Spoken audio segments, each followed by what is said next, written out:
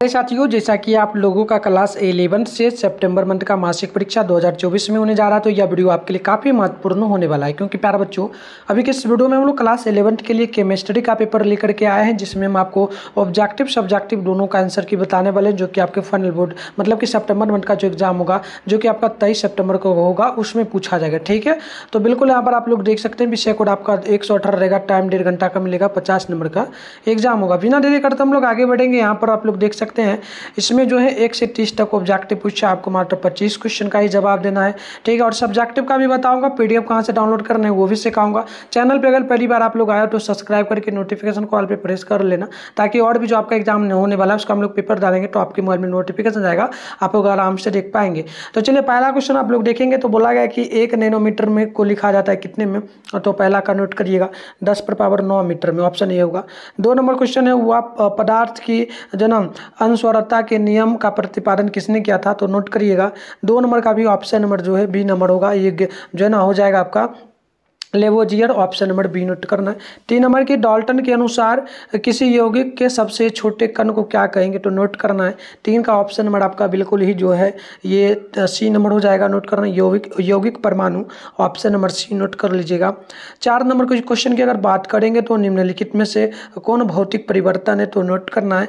चार का option C होगा, ये आपका जो है ना, उजला फास्फोरस को लाल में बदलता है। ऑप्शन नंबर सी नोट कर लेना है।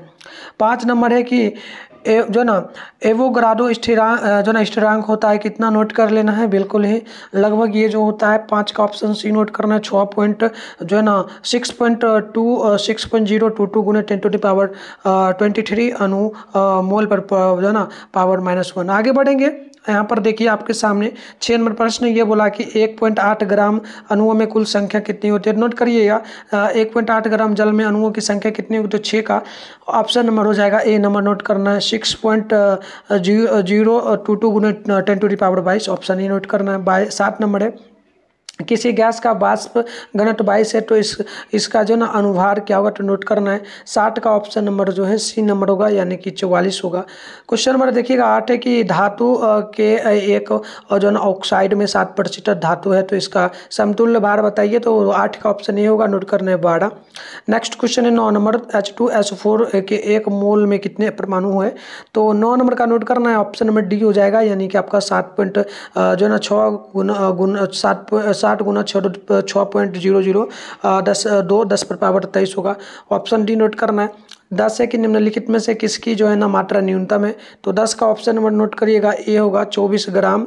मैग्नीशियम का ऑप्शन नंबर ए नोट करिएगा। आगे बढ़ते हैं। ग्यारह है कि एक ग्राम सीए ऑक्सीजन के साथ अभिक्रिया करके सी बनाएगा कितना? तो नोट करिएगा। ग्यारह का ऑप्शन सी होगा, ये आपका हो जाएगा छप्पन पॉइंट जो है ना, छप्पन बट्टे चालीस ग्राम। नेक्स्ट क्वेश्चन यहाँ पर तेरह है, बारह कि चीनी का अनुसूत्र क्या है? तो बारह का ऑप्शन बी नोट करना है, ये आपका हो जाएगा बारह का ऑप्शन बी हो जाएगा सी टू एच वाइस ओ ग्यारह। क्वेश्चन नंबर तेरह है कि एसोटिक अम्ल का मूलानुपाती सूत्र क्या है? तो तेरह का नोट करना है ऑप्शन बी होगा, आप नोट करिएगा सी एच टू ओ होगा।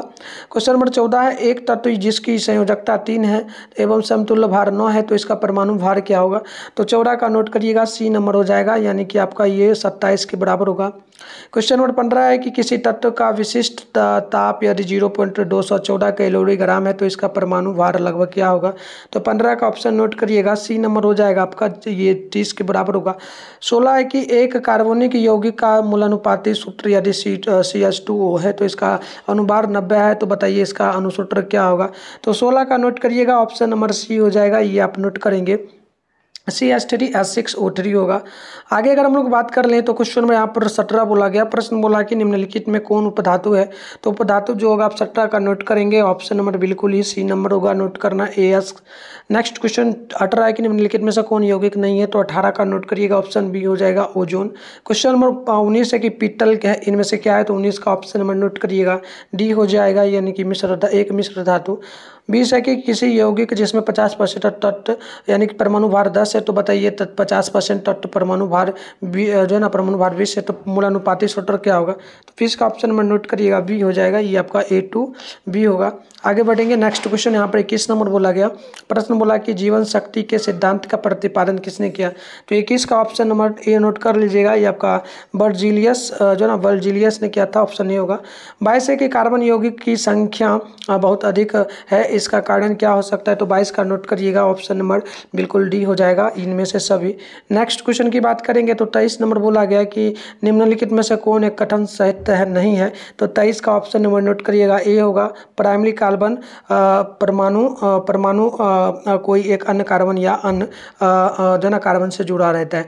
क्वेश्चन नंबर यहाँ पर चौबीस है कि जो ना थाईमेथिल जो ना दाई दाई मेथिल इथर का क्रियाशील मूलक नाम क्या होगा? तो चौबीस का नोट करिएगा ऑप्शन नंबर आपका हो जाएगा सी नंबर नोट करना है। Single bond C single bond up में हो जाएगा एंड बराबर होगा सिंगल जो ना C single bond up single bond जो ना कह सकते हो राइट इस प्रकार से ऑप्शन सी होगा।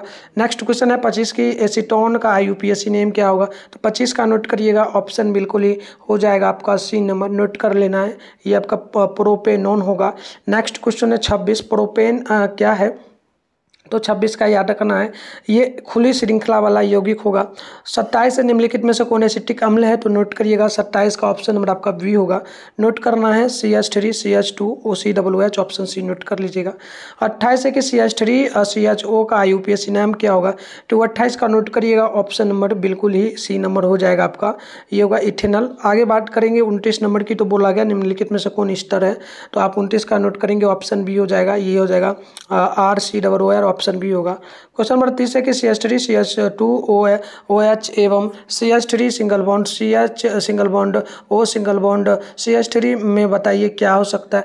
नोट करिएगा, यहाँ पर बिल्कुल आपका ऑप्शन हो जाएगा तीस का। ए नंबर यानी कि अब क्रियाशील समावय होगा, है ना? फंक्शनर जो ना क्या लिखा जा रहा है? इमोसर्स चलिए तो इस प्रकार से हमने सारे ऑब्जेक्टिव का देख लिया। हम पीडीएफ अभी डाउनलोड करने के लिए आपको सिखाएँगे, टेंशन नहीं लेना है, ठीक है? वीडियो को कंटिन्यू देखना है, चैनल को सब्सक्राइब कर लेना, वीडियो को लाइक कर लेना है। देखिए, यहाँ पर लघुतरा क्वेश्चन में एक से दस तक क्वेश्चन आपको पाँच क्वेश्चन का जवाब देना दो मार्क्स वाला दस नंबर आपको मिलेगा। पहला क्वेश्चन देखिएगा तो एक उदाहरण देकर के गैर लुसेक के गैसीय आयतन का नियम व्याख्या करना है।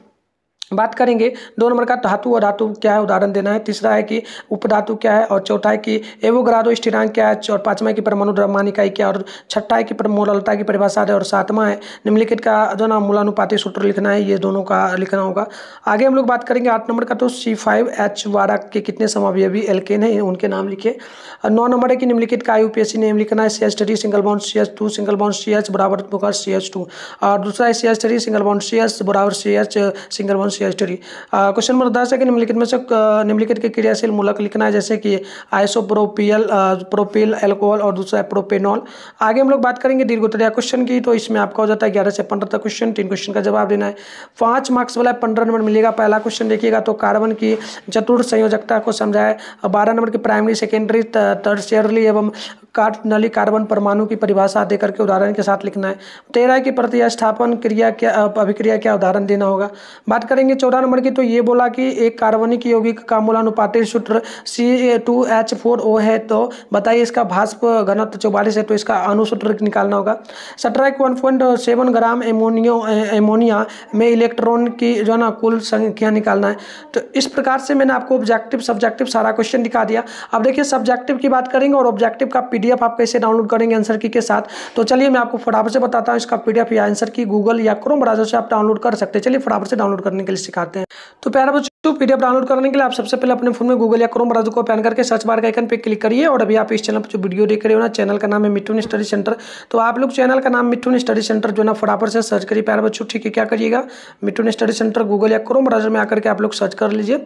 इसके बाद आपको सर्च करने के बाद थोड़ा सा ऊपर करना है। फ़र्स्ट में आपके सामने मिट्टू स्टडी सेंटर का ऑप्शन वेबसाइट मिलेगा। मैं आपको जूम करके भी दिखा रहा हूँ। इस पर क्लिक कर लेना आप लोग। क्लिक करने के बाद इस प्रकार से इंटरफेस ओपन होगा। आराम से स्कॉल डाउन करिएगा। नीचे आइएगा तो आपके सामने क्लास इलेवंथ का देखो सेशन क्वेश्चन यहाँ पर देखने को मिल रहा है। और फ़र्स्ट में देखिए class eleven September monthly exam all subject question paper लिखा ये फ़र्स्ट वाला पर आप लोग क्लिक कर लेना। क्लिक करने के बाद इस प्रकार से इंटरफेस जैसे ही ओपन होगा, आप आराम से स्कॉल डाउन करना, नीचे आना, नीचे आओगे ना तो इस प्रकार से आपके सामने इंटरफेस मिलेगा। ये साइंस का सेशन है। इसी में आप देखेंगे तो केमिस्ट्री इसके सामने डाउनलोड लिखा है डाउनलोड पे आप लोग क्लिक करना है। क्लिक करने के बाद इस प्रकार से आपके सामने इंटरफेस वगैरह जो है ओपन हो जाएगा। जैसे ही ओपन होगा, आपको पेज वगैरह को रिफ्रेश करना है। मतलब कि जब तक सब्जेक्टिव क्वेश्चन का आंसर की नहीं दिखेगा, तब तक जाना है और रिफ्रेश वगैरह करना है। देखो व्हाट्सएप ग्रुप टेलीग्राम ग्रुप का लिंक है इसे ज्वाइन कर लेना। आगे बढ़ोगे ऑब्जेक्टिव आंसर की, की बात करें तो ये डाला गया इसको लिख लीजिएगा। सब्जेक्टिव की बात करें सब्जेक्टिव आंसर ये जो लिंक दिया जा रहा है इस पर क्लिक करके आप डाउनलोड करना। उसके अलावा यहाँ पर आपको हिंदी मीडियम इंग्लिश मीडियम दोनों में आंसर की मिल जाएगा यहाँ से डाउनलोड कर लीजिए। इसके अलावा हम लोग जो है ना वीडियो भी लाएँगे जिसमें हम सब्जेक्टिव क्वेश्चन दिखाएँगे। आप चैनल को सब्सक्राइब कर लीजिएगा ठीक है? मिलते हैं नेक्स्ट वीडियो में तब तक लिए बाय बाय